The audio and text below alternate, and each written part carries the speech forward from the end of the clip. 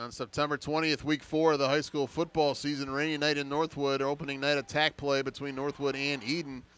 And both teams would trade touchdowns early on. Edon coming out with a 30 yard touchdown run by Green to take an 8 0 lead. But Northwood would start getting their ground game going on their second drive of the night. Dominic Bermageau, our PNC Bank MVP, had four total touchdowns, three rushing, one receiving. Northwood pulls away in the end for a 40 27 win.